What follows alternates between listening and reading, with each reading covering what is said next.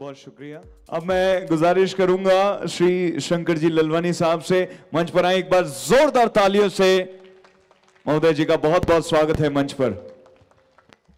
आदरणीय सावंत सोनकर जी आदरणीय रोहन सक्सेना जी आदरणीय पी डी अग्रवाल जी आदरणीय सावंत जी आदरणीय अग्रवाल जी भाभी जी यहाँ उपस्थित सभी बंधुओं।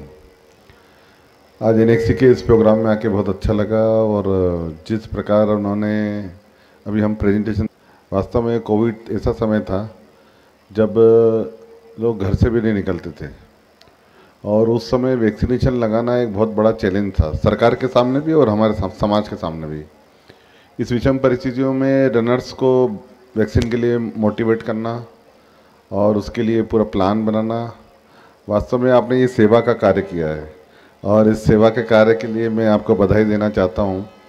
और वर्तमान युग जो है, समय है डिजिटल इंडिया का।